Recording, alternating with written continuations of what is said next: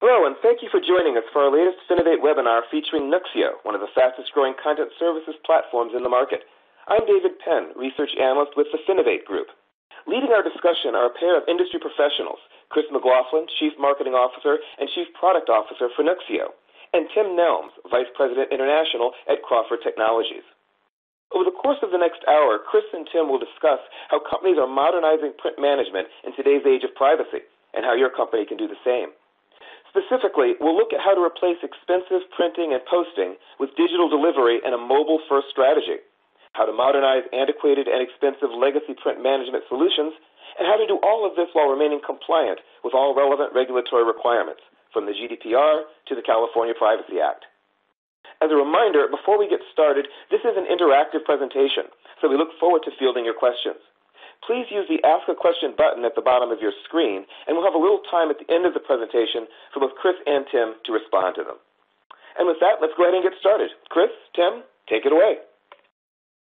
Wonderful. David, thank you for the kind introduction, and good morning and good afternoon, everyone. As David said, over the next uh, hour, uh, Tim and I are going to uh, walk you through some information on how to unlock your PrintStream data and really make it accessible to your customers and valuable to your business in driving an improved customer experience. So the title here on the slide, a little bit off in terms of talking about a smarter approach to customer communications archiving. But what we're really talking about here is how we unlock that information, how we enable you to deliver a better experience to your customers. And before we dive into the topic today, I thought it would be valuable for us to just look at a little bit of background from a customer experience perspective, provide a little bit of business context. So what we're seeing with our banking and insurance customers is they are very much shifting to a customer-centric uh, strategy, a strategy that is really built around delivering an exceptional customer experience. And we kind of included two quotes here to get started. I know this is a bit of motherhood and apple pie, but the critical thing for us and what we're going to be talking about today is customer experience as an outcome. And really starting with that outcome and then working our way back from a technology perspective to figure out how to deliver on that outcome kind of as we align to that quote uh, here from Steve Jobs about starting with that customer experience and then working your way back to the technology. The other key thing that we recognize, and particularly as our financial services customers are competing more and more with born digital companies, bank tech, insure tech type companies, who really are built around a modern customer experience, we recognize that more and more customer experience really is becoming the key differentiator in this marketplace, overtaking both price and uh, product as, as the key differentiators for brands. So when we talk about the customer experience, we talk about customer intimacy, and we talk about delivering financial services, products, and services in a customer centric fashion. What we're really talking about here is making it easy and fast for customers to engage with these products and services. We also, of course, want to be presenting products and services to customers that are highly personalized, relevant, they meet their needs. We're not presenting products and services to customers that aren't relevant to their particular needs or circumstances. And of course, we want to make response mechanisms immediately available. So how do we engage with those products and services? How do we begin to consume those products and services? And then the other key challenges that we see for customers really is around consistency. So many of our customers today are really working around multi-channel and omni-channel strategies and delivering these products and services across print, web, uh, mobile devices, and even in their customer service and call center operations. So it's critical for them to have a consistent experience. One of the things that we find is access to information across these diff different channels is a real challenge. So when we talk about customer centricity, and again, We'll get to the hows and whys of this in a moment, but when we talk about customer centricity, we also have to talk about the information that drives customer centricity and how becoming more customer centric is really creating a much greater demand on access to information and how our customers deliver information to their customers. So when we talk about customer communications, we talk about customer information, of course it has to be always on, always available, 24-7, 365 access to that information. We have to be able to deliver across any type of device, and we really have to be able to do it in the customer's time frame and with respect to the customer's personal choices. So how do they want to be communicated with? In which channel, across which device? So really thinking about convenience and choice as part of that information delivery mechanism. And then certainly more recently, it's become increasingly important for our customers to be environmentally friendly in the way that they deliver information to their customers. So whether you're a bank or an insurer, really thinking about the uh, environmental impact of your communications. And a lot of our customers are very focused on how do we move uh, traditional print communications to electronic channels.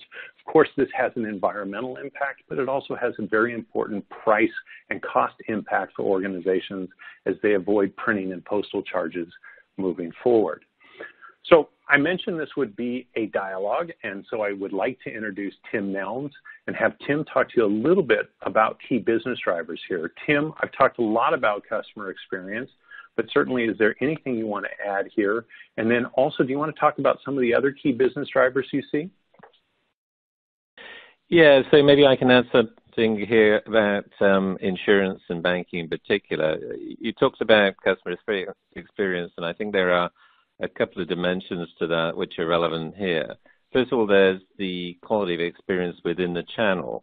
So that is what happens when you're conducting business through, for example, a store or online, so-called multi-channel. But then there's the issue of transferring that knowledge across channels so that, you know, for example, in a store transaction, can you complete that online or vice versa? So we're seeing a lot of interest in financial services in making those experiences absolutely seamless. Another key issue for financial service companies is the degree to which M&A influences systems and processes. For example, you know, if you buy a book of business, that means potentially silos of information in existing systems need to be integrated into new customer experiences. And it's coming back to that same age-old problem of the single view of the customer versus the many siloed views of customers that you get in lots of siloed systems. So that same problem of single view applies to compliance and governance. So if you've got multiple silos of information, it's a real problem because you need to have consistent policies for both information access and things like record and retention. Now, financial services companies often have huge problems with that because governance processes can't work across those multiple dislocated back-end systems.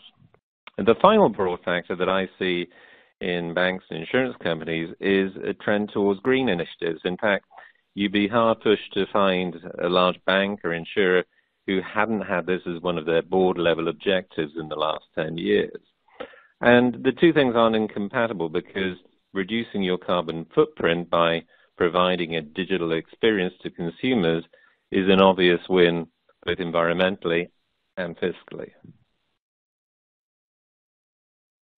So, Tim, uh, I noticed we didn't add cost reduction to this slide and thought maybe you could give uh, our audience some examples of how by shifting traditional print communications to electronic channels, we can help them also reduce costs while reducing that carbon footprint.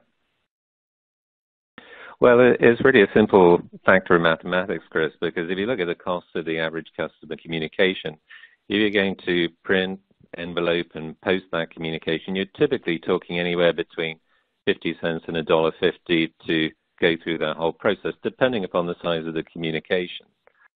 So if you look at current trends in terms of the adoption of digital communications, they range from anywhere uh, from about 22% up to 50% at the moment. So if you look at a typical insurer, for example, maybe with 5 million odd customers, you might say that there's uh, 25 million odd communications over the course of a year to those customers. If you multiply that by the cost of printing and posting, you very quickly get to a very hard cost number. And when you apply, you know, factors for digital delivery and you take that out of that number, you can see uh, cost savings in the millions of dollars very quickly. So even for the average insurer, even small insurers, it's a huge benefit to go digital. Fantastic. Tim, we're talking about high volume communications here, and you, you quoted some big numbers. Uh, do you want to talk about the types of documents and communications we're talking about here? Yeah, well, it, it is certainly the size of the problem of managing customer communications that challenges most companies.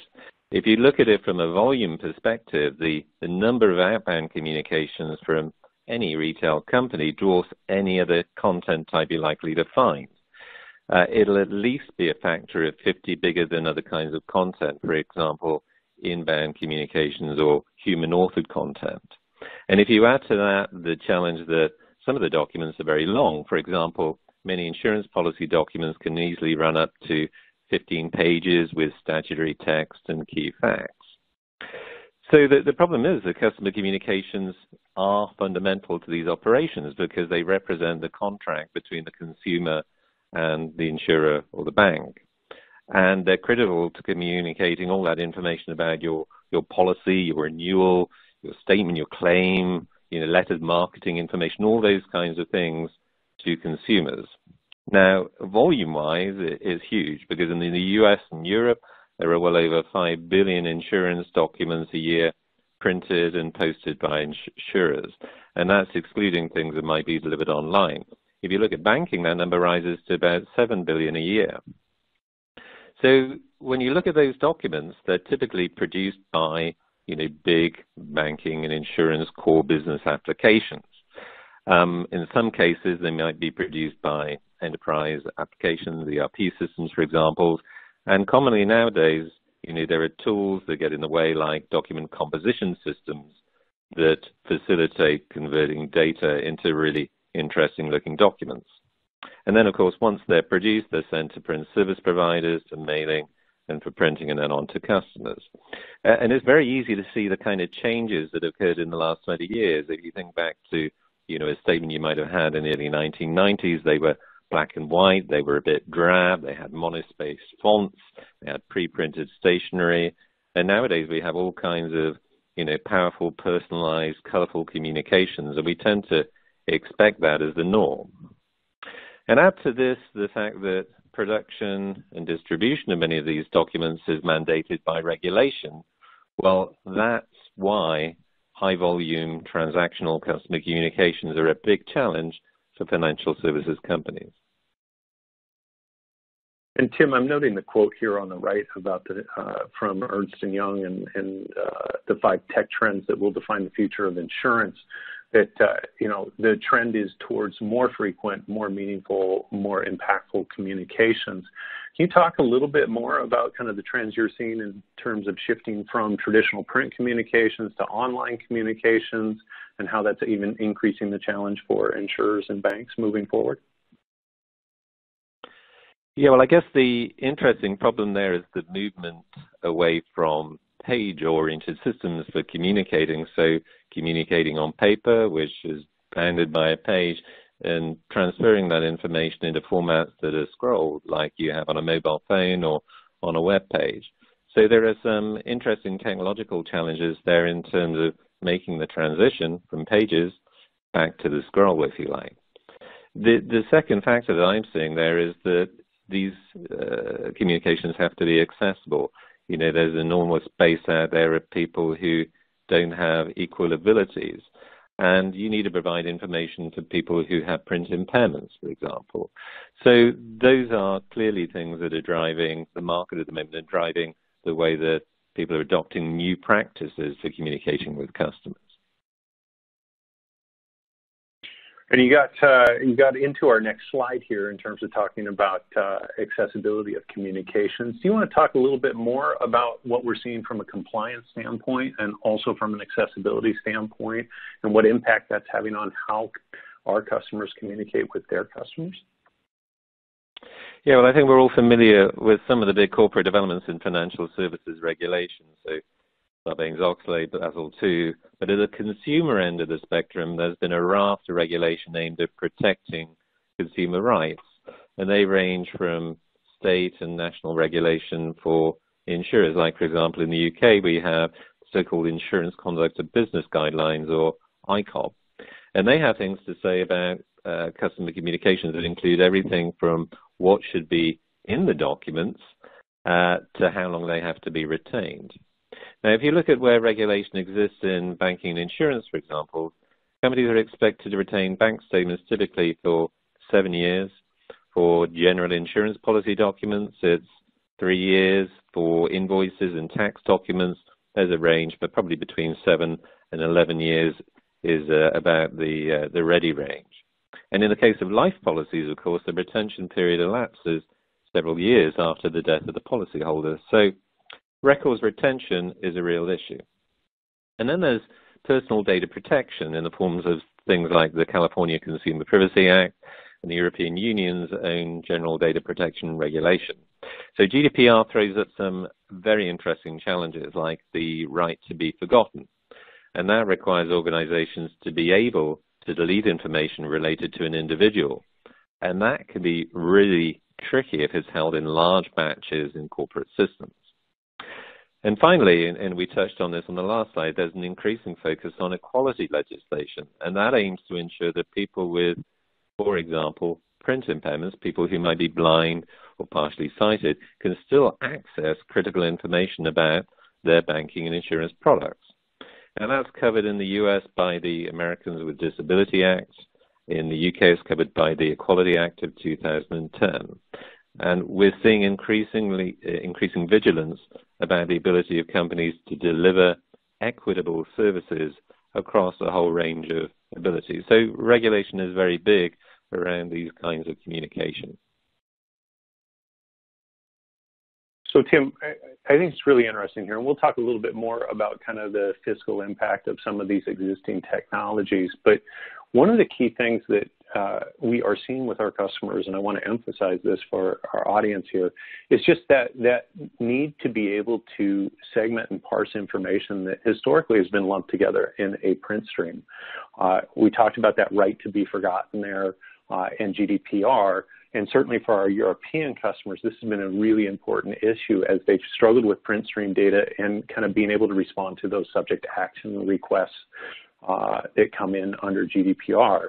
Um, what's interesting to me is Europe's been a bit out in front on this, but now with the California Consumer Privacy Act, which I believe goes into effect in January, we're beginning to see similar legislation in the U.S. around this data privacy as well as data ownership uh, for consumers. Um, the other thing that was really interesting for me is that I learned the other day that there are now, I believe, 14 other states in the United States that are considering similar legislation to the California Consumer Privacy Act. So for our U.S. customers on this call, certainly looking uh, across banking and financial services, this is going to be a, a, a very considerable impact to their business and a big challenge for anyone who maintains customer information in a print stream. So with that, let's talk a little bit about uh, challenges with legacy systems, Tim, and what we're seeing uh, our customers struggle with today. Yeah, well, maybe let's start with a little bit of nomenclature. So the the term that's used to describe software that captures these kind of electronic versions of customer communications and stores them online is a customer communication archive, a CCA. And the process of allowing customers to have electronic access to those documents is commonly called e-presentment. Now, it's very common to find in the industry that those kind of customer communication archives, those CCAs, were deployed, you know, 20 years ago, and actually they're still in place today. And that's not bad. These systems are great. They've given great service for many, many years.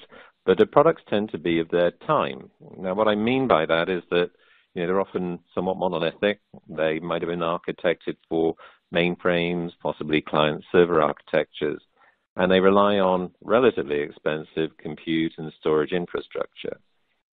As a result, they tend to be difficult to integrate into modern business application environments. They tend to um, be less useful for the kind of scale that we see today in modern web applications. So they're, they're not architected for the modern flexible cloud, hybrid cloud environments we want to deploy on. And nobody would call them cloud native, nobody would call them cloud friendly. They're just not of that generation. Now, in the last 10 years, there's also been a seismic change in the way that companies communicate through digital channels. And it's no surprise that you know, things like the web and mobile devices and email are at the center of that kind of a change. And where once these kinds of systems tended to be accessed by really relatively small numbers of users, you know, perhaps uh, a few hundred or thousand people in a call center, nowadays consumers are using self-service tools to access the information directly, and we all do it via mobile phones and by our computers. And the problem is that these legacy systems sometimes struggle to scale at a reasonable price point. That's the key phrase here for that kind of access. So that, that takes us to this fact that these systems are expensive to maintain. All that compute, network, storage infrastructure adds up, and it's not unusual for large companies to spend easily between two and ten million dollars a year on maintaining such systems. And there's also a, a technical deficit. You know, when your developers are all using web services and application servers and HTMLs and modern technologies, it's difficult to find the skills to run those old sort of batch mainframe systems for customer communications. And it's not just the platforms, it's things like the formats and the standards. You know, they use uh, content formats like Metacode, AFP, and line data, all great formats and of their day, but not the kind of things we want to use nowadays for long-term archiving. And as a result, the cost of communication archives in you know, insurance, insurers and banks varies widely. And really, by no means are all companies getting the same financial benefits of moving to digital communications archives that they should because their systems are expensive and costly to run. So, Tim, you talked a little bit about the challenges we see in terms of uh, being able to access this information across mobile devices and, and more modern uh, channels that we engage with customers through. Uh, I also wanted to emphasize the challenge that we see uh, in terms of as customers themselves begin to modernize their core systems and how they engage with their customers, whether that's uh, core insurance systems, core banking systems, CRM systems, or even their customer service call center solutions. Obviously, they also want to make this information accessible to their own employees as they engage with and interact with customers. And so one of the key challenges that we see is where uh, these organizations are beginning to modernize those core systems and then having to go back with these 25 plus year old legacy platforms and get them to play nicely and integrate uh, with these new systems. So when we talk about kind of that cloud friendly, cloud native piece, yes, there are all the benefits of cloud in terms of cost reduction and in terms of really shifting that, that infrastructural load uh, to a dedicated provider but we also find that it has implicit uh, requirements in terms of how different technologies interact and what type of APIs they offer in terms of being able to integrate with some of these new standards for core systems, for CRM, and for customer service solutions. So why don't we talk a little bit about what we believe is a much smarter approach for this, Tim? And can you uh, highlight both how we extract this information from print streams, but also how we would make it accessible across the entire organization? Yeah, so you know we're, we're starting from a point here where we know that our, our current system is old, is obsolete, is costly, is complex to maintain, and it's for all those reasons, along with probably a desire to boost information governance that we want to move to something a little bit more next generation. Uh, so the question is why Nuxeo and why CCM Gateway is the right tool for doing that. Actually, I'd like to start with Nuxeo because you know if you look at Nuxeo, it's really a reimagining of the traditional architecture for content, and it's combining you know scalable cloud with a clever data storage architecture with web services, and it gives you everything that you'd expect from a content platform, but in that form, including metadata management, full text search, content storage, governance API, all of those kinds of things that you need to build an effective customer communication archive. In fact, you know, the other great thing I think about Nuxeo is they've spent a great deal of time to ensure that Nuxeo can perform at scale. If you look at the benchmarks for the core platform, it's capable of servicing really high volume, mission critical customer communications archive and e-presentment workflows. So you know, working on top of that cloud platform, working on top of things like AWS, means that um, companies can benefit from the economies of, uh, of scale of running in cloud infrastructure and scaling up and down according to how the system is being used at one point in time. So a, a, crucial part of the process for running this kind of a system is actually loading and retrieving communications uh, from and to Nuxeo. So big organizations, they just don't need to, you know, put a few documents in every day. It's loading millions of documents a day, which means ensuring that ingestion pipeline is as efficient as possible and uh, that you're maintaining a service to customers at the same time. And, and our customers count the documents in their systems in, if not the hundreds of millions, in the billions. It's not uncommon for our customers to have 10 billion plus documents that they're keeping.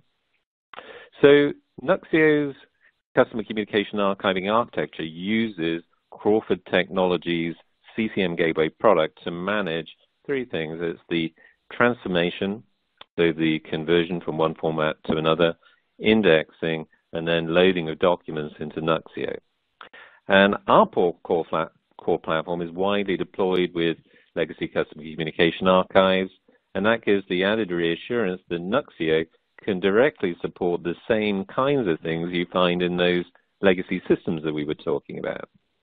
So our core transform modules handle things like print formats, that's uh, AFP, Metacode, PostScript, PCL, PDF, even line data. And those transformations are the product in our engineering team of years and years of continuous development. And that guarantees really high quality, high fidelity conversions between formats. Uh, many of the customers that we work with, with Nuxeo, are actually choosing formats like PDF, if not PDFA, the ISO standard for long-term archiving, because it's got significant long-term benefits over those traditional print formats.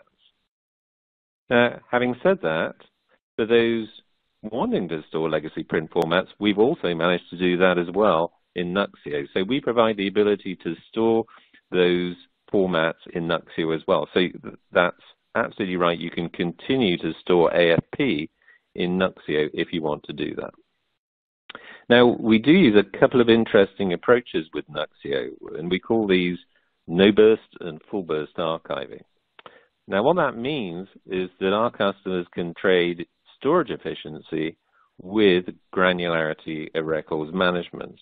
And we take full advantage of this approach, which means that you know the content that we store either bears a very close resemblance to that that you stored in your legacy system, or is highly granular for this kind of GDPR records management.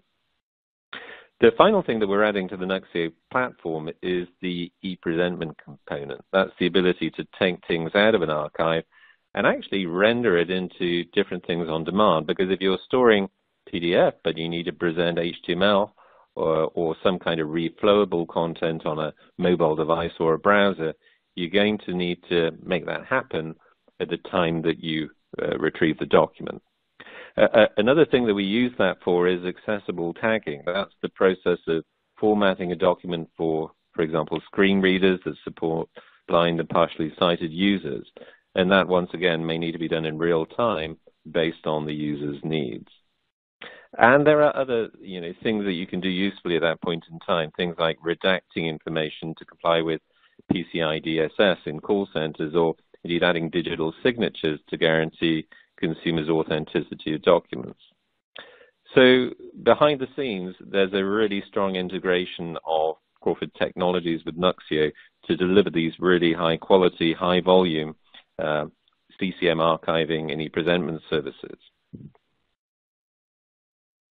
Wow, Tim, you uh, delivered a lot of information there on one slide. So if I can summarize just a little bit, I think what you're looking at here is a, a integrated solution that allows us to take this legacy print stream information, uh, convert it into entirely uh, modern and accessible documents for customers, and then deliver it really through any channel, any device, uh, and any application that needs it in the organization. I think the other thing that I would emphasize here from a diagrammatic standpoint, uh, as Tim mentioned, very kindly, thank you, Tim, uh, we are a, a true uh, content services platform, not just a uh, customer communications archiving solution, which means that Nuxeo not only has the ability to manage uh, this converted print stream data, or as Tim said, even the original print stream data in that environment, but also other related customer information, other content and information that is critical to customers. And what we're seeing more and more is organizations looking to begin to consolidate that information. We talked about M&A earlier, we talked about customer experience earlier, but really being able to bring all that information together and present it to customers as well as employees who service those customers. So it's critical to begin tearing down some of those silos, and I can't believe after 20 plus years in this industry, we're still talking about that, but it's still a very real challenge for our customers. Tim also talked about new communication forms, and one of the things that we're seeing alongside of these print stream communications is that more and more our customers are beginning to communicate with their customers their consumers in real time. So they're leveraging technologies like email, SMS messaging, and things like that. And in many cases, it's very difficult for their employees to get access to the same information that their customers are receiving. So having this common repository that really allows them to manage all the different types of communications they send to their customers, and then being able to serve that to different applications in their organization or in self-service uh, applications to the customers themselves directly is critical for the success of their enterprise and their customer experience. So Tim, with that, I thought we would shift gears a little bit and just give uh, our audience here a couple of examples of where we've been doing this today. And I'll kick off and talk a little bit about uh, this customer. It is a banking customer. Uh, and the term future-proof here in the title is their term, not ours. Uh, and I'll give you a little more context on that in a moment. Uh, unfortunately, we're not able to share their name with you, but in this circumstance, they are one of the world's top five financial services brands. Uh, they have about 102 million customers worldwide and over 14,000 branches globally, so you can probably guess who they are. Uh, in this particular circumstance, we are actually working with the UK uh, uh, operation of this bank. And the UK operation has about 15 million customers uh, and about 20,000 employees that we're supporting with this solution. Now, from a challenges standpoint, this was a customer that was working with uh, one of these uh, legacy CCA solutions, in this case, the IBM Content Manager on Demand solution, and about 2.5 billion documents uh, that were spread across different locations and different iterations of their system. And beyond replacing IBM uh, CMOD in this environment, we also consolidated five other uh, content management technologies to support their operation. Again, to get that, that consistent kind of 360 degree customer view. One of the real challenges that we saw here for this organization, and when we talk here about compliance mandates, let's be specific, we're talking about GDPR and the ability to respond to uh, subject access requests. Um, so that was a big driver for them. But the other driver for them was really about being able to utilize this content, this information across a variety of different use cases and new applications in their organization. One of those use cases was around uh, providing a new mobile app to customers for personalized uh, statement delivery.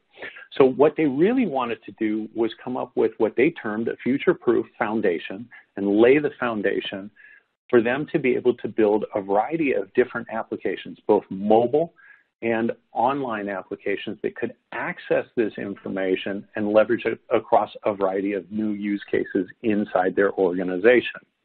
Now, they first started down a homegrown path, looked to build this uh, using cloud technologies themselves, and very quickly realized that they could simply get there more quickly uh, working with Nuxeo and Crawford.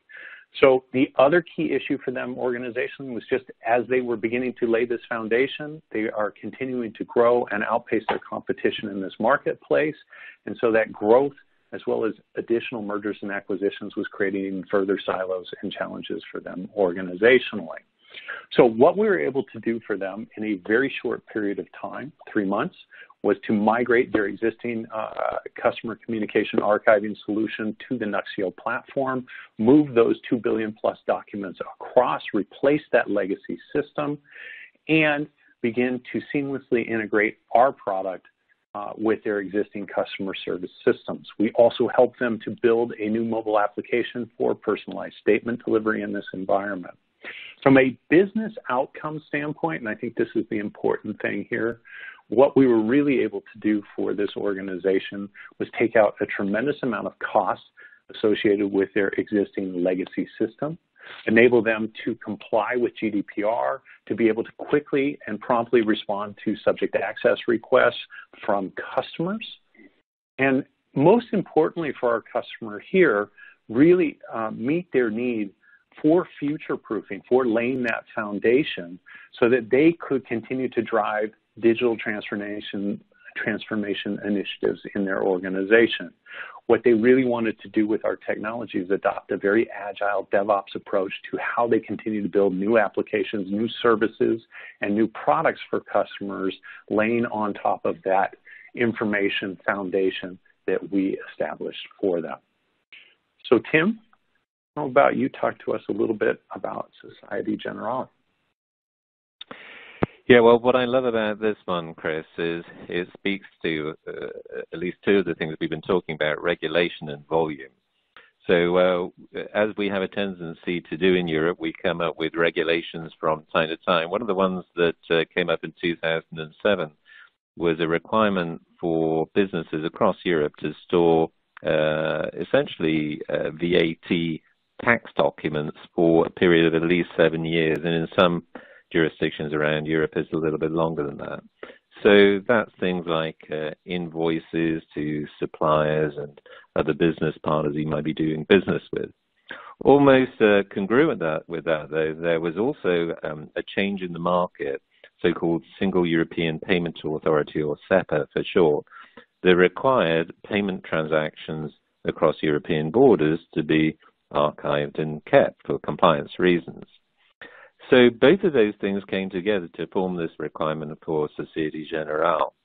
Now, I suppose when we began this project, um, I didn't really know quite what the volumes were going to be. As it turned out, we found ourselves archiving over 30 billion records um, as both PDF documents, but also as data records. And I think that's um, a factor in a lot of um, financial service systems is that you're not just storing documents in a sort of paged content fashion, but you need to store data as well, sort of XML records as they would be these days.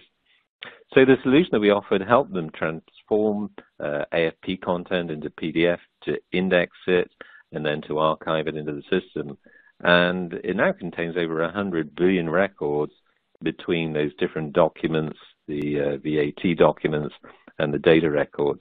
So the great thing about this is it's a single platform for holding both structured data and what I call semi-structured data in the case of those VAT documents. And all of that information is available to uh, bank staff and customers, and it puts them in full compliance with those European payment and VAT regulations. So that's Societe Generale. Wonderful. And Tim, how about an example for our insurance customers in the audience? Well, I wouldn't want to leave them out, Chris, that's for sure. Now, th- this, I think, speaks really nicely to some of the legacy challenges we were talking about earlier. So, you know, uh, if um, the biggest insurer in the Nordic region across Sweden, uh, Sweden uh, Finland, Norway, and Denmark, and other parts of the Baltic states. So uh, they had over time acquired businesses, they had M&A activity, they'd acquired different systems. In fact, they had three different content management systems. So part of their challenge was to migrate and uh, put that information into a single system.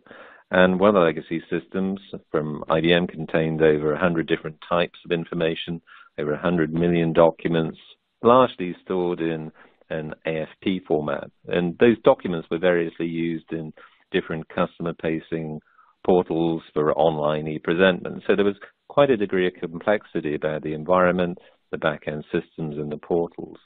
So what we provided was a system to convert that AFP data into industry standard, ISO standard PDFA uh, to allow them to extract the metadata that they needed, things like customer number, policy number, the data which the transaction occurred, and then to put that into a single core system that it could be used across all of those portals. So it saved money in a number of ways because it allowed them to save money on having three systems and just having one system instead.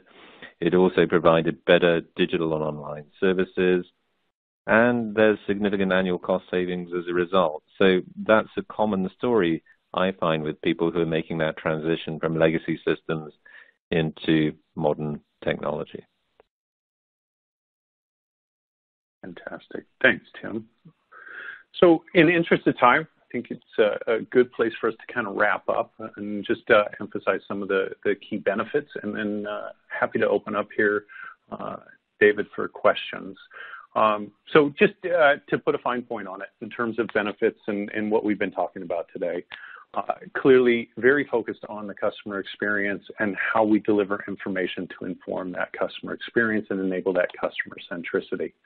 Uh, we've talked about the benefit of a cloud-based platform that is low cost, open API, allows you to easily integrate, connect, and operate at a, uh, a, very low cost basis, as well as consolidate customer information, both from these customer communications archiving systems, as well as from other content sources, information sources in your environment.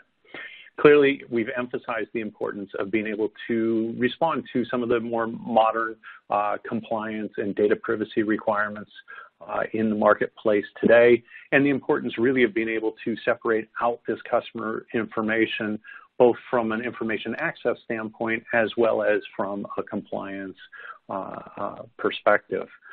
Um, certainly, and, and, something we've hit uh, throughout the different case uh, studies and examples is the ability to eliminate some of the uh, expensive aspects of these legacy systems, move off of older technologies as well as older supporting infrastructure, mainframe, AS400s, onto more modern uh, infrastructure uh, and much lower cost systems. We didn't emphasize this through the different uh, case studies, but certainly something else we would also uh, really point to is if you look at points four and six, how do we reduce print costs, help you take cost out of your operations? How do we reduce the corresponding carbon footprint uh, by moving to more electronic channels and in, in, point number six, enabling that customer self-service aspect. The more we drive customers and give customers the ability to service themselves, the more we improve the customer experience and also the more we reduce costs for the organization, both in terms of driving print communications as well as interactions and, and costs association, associated with call center operations. And then finally, and perhaps most importantly for our banking and insurance customers, really how are we driving that improved customer experience? And it's all about anytime, anywhere access to critical information and making that access completely device agnostic. We want to make it seamless. We want to make it easy for customers to move across different channels. And we also want to make sure that they are getting consistent communications, consistent information across all those different channels and making that information accessible regardless of what the customer's particular needs are. So hopefully we've done a good job of talking to you today about some of the benefits of a new approach to customer communication archiving and really how we would go about unlocking print stream data to improve the overall customer experience. David, with that, I think we will uh, open up for questions. Uh, also provided some information here, both for Tim and myself, if people have questions that they want to ask uh, offline or through different channels, but would certainly love to take questions now. Great, let's go ahead and do that. And I, first, I just want to thank both uh, uh, Chris and Tim for a very, very interesting presentation on uh, some of the topics that I know many of us in uh, in this industry, broadly defined, are looking at in terms of digital transformation, in terms of helping uh, institutions do a better job of meeting the growing array of, of regulation, regulations that are uh, that are coming out but obviously here in the United States as well as around the world. So I thought it was very, very interesting to hear you touch on a number of those uh, ways in which technology helps uh, helps again these institutions address these. Um, I do want to remind uh, everyone listening that we still have uh, about 50 minutes or so before we finish. We have a few questions that have come in, but there's still plenty of time. If you have a question for Chris or Tim, go ahead and hit that Ask a Question button and submit your question, and uh, we will try to get to as many of them um, as we can. We just had a few more come in just a moment ago. So please, if you do have a question, uh, go ahead. Don't hesitate and send that to us. And as I mentioned, we'll get to those as, as quickly as uh, as quickly as possible. So let me go ahead and take a look at some of these uh, questions here. Uh, let me see. Let me just start at this uh, first one that came in. I guess this maybe is a point of clarification, and I'll go ahead and just read it in, in full uh, to make sure I have the individual's question accurately. Uh, the person asks, you said that you make fully accessible documents with uh, PDF, UA, HTML5, and Braille. Uh, can you elaborate on why this is important and whether or not you have to convert the documents to an accessible format first before storing them in Nuxeo, or can the documents already stored in Nuxeo be made accessible? So an interesting question there. Well, Chris, maybe uh, I'll take that one. Um, so, you know, accessibility and accessible documents is something of a speciality for Crawford Technologies. And indeed, there, there are several approaches to doing that and to giving people access to accessible content. And I suppose you're seeing the same kind of digital transformation happening for people who have those kind of impairments as you do in all other parts of life. You know, you see people using mobile phones to read out messages, uh, to read out documents. And key technologies there are things like HTML. Um, HTML, WCAG, for example, WCAG 2.1, 2.2, specify how you can make your web applications and web content accessible for people. Now, for a, a little while, PDF, um, I guess, struggled a little bit there because it didn't have the same accessibility. So what we've seen in the PDF sphere is the addition to the PDF standard of accessible PDF or PDF UA, as it's technically known. And what that helps us do is to actually tag content within the PDF in much the same way that you would semantically tag information in HTML. So it allows you to identify, for example, titles, headers, um, different levels of heading, paragraphs, um, text on uh, images, for example. And by doing that, we can then use uh, screen reading technology to read out the information on those documents. And there's something even more powerful about that because the same processes we use to do that kind of tagging can also help you drive other alternate accessible formats like audio, uh, like Braille, so it really uh, increases the options for giving people the kind of formats that they want. And a lot of legislation actually requires companies to deliver accessible documents in a format of the choosing of the recipient. So you have to be open and able to deliver all of those formats in the future.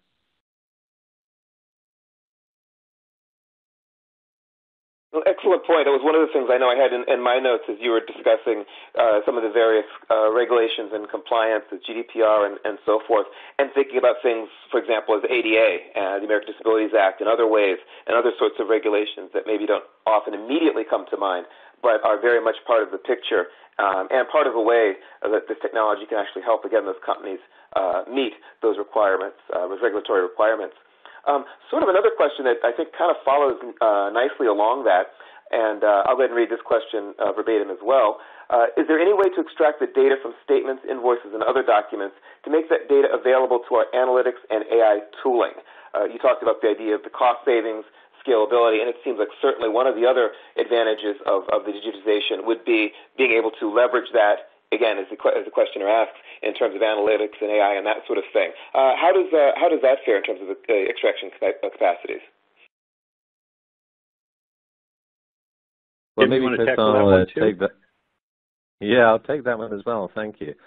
Well, uh, so the, the, the interesting feature of these kinds of transactional communication that go to customers is actually they may be the last place that that data about the transaction lives if you look at the core business systems, that data will get purged from time to time. So in essence, that record contains the lasting archive and record of how you're doing business. Now, we've seen some really interesting examples of this, of companies actually going back through these customer communication archives to mine that data to find out how their business was performing 10 or 15 years ago. So certainly that approach to data mining uh, and to then using that in analytical applications is not new. And uh, I can see some really great value in doing that and uh, and using this kind of content, this semi-structured information, to drive um, uh, not only intuition but you know evidence-based approaches to, to looking at how you deliver service to customers over time and how you can improve it in the future. So yes, I think there are some really interesting possibilities there. Excellent, excellent. I definitely know that is uh, the idea. Is once you get that data, the idea is what all can you do with it? And and again, digitization certainly uh, completely opens the door on the possibilities uh, that can that can be done, how that data can be leveraged. Again, want to let everyone know we are we're coming up toward the top of the hour, but there is still time. If you have a question for uh, Chris and Tim, please uh, feel free to go ahead and, and send it in. Uh, we've got a few more here in the queue, but uh, we'd be more than happy to try to get yours in as well. So if you do have a question, again, please don't hesitate to send it our way. Uh, here's another very important question. Um, it might have already been addressed in the presentation. I wasn't quite sure, but let's definitely make clear. And the question asked, does the Nuxeo Crawford solution run only in the cloud, or can it be deployed on premises as well? Jim, I think we finally have one I can answer. Um, happy to jump in on that one, David. um, so uh, while we have focused very much on kind of the cloud nature of these uh, these two products and and the benefits of cloud, uh, certainly want to emphasize that uh, these technologies can also be deployed on premises. Uh, in fact, we've kind of shifted away from, from having a conversation about cloud versus on premises to more a conversation of uh, cloud versus self-managed. And what we are finding is even for our customers who want to deploy these technologies themselves, uh, in most cases, those customers are leveraging cloud technologies of their own, uh, maybe working with their own cloud provider or their own cloud technologies in their data centers. Um, so uh, kind of wholesale from an industry standpoint, we're seeing a shift towards cloud. Whether or not that, that is something operated by uh, Nuxeo and Crawford or whether that is something operated by the customer themselves is really just a business decision they need to be they need to make. But the critical thing there is you're getting all the benefit and power of cloud native technologies and you can deploy it anywhere you want to, whether that's in your organization, on premises, uh, in your cloud, or uh, certainly in our cloud as well. Excellent, excellent. Uh, again, I, we're coming up on the top of the hour. I just had one question I wanted to squeeze uh, squeeze in if we could before uh, if we totally run out of time. And that was just hearing about some of the different organizations and and, uh, and institutions have been taking advantage of this technology. I'm curious, uh, who in the financial services space, whether it's insurance companies, banks, do you believe have been sort of uh, uh, leaders in making directions in terms of, of uh, making this transition with regard to to uh, print documents? Is there uh, any industry within the financial services you can highlight as being particularly forward thinking and forward acting in this regard, or or is it all sort of uh, it really depends on the individual companies?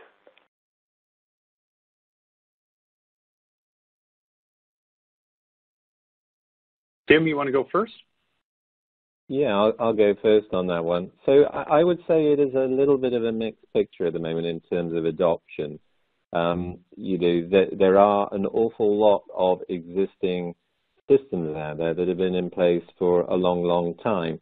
In fact, um, when it comes to customer communication archiving, I'd say that's one of the last big applications, in all probability, still resident on the mainframe.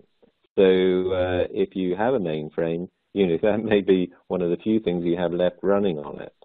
So the strange thing is, is that there are uh, great new ways of doing that. You know, it's not a problem to change those systems, and I think a lot of people have a concern and a reticence that can, you know, new architectures like the cloud really support this kind of scale and volume that I need. So uh, there is something of a um, of a build-up in demand for for companies to make this change. I will say the companies that I see doing best here tend to be banks at the moment. There are some big investments going on in the banking industry to replace some of these legacy systems. Some very very large projects indeed. You know, using exactly the kind of architectures that we've described in this presentation.